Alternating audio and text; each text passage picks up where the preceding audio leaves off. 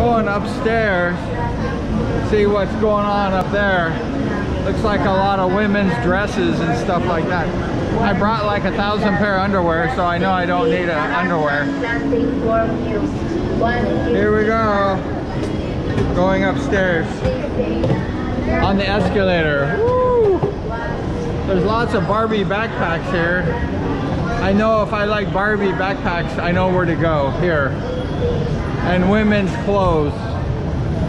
I can buy lots of dresses here. It won't look good on me.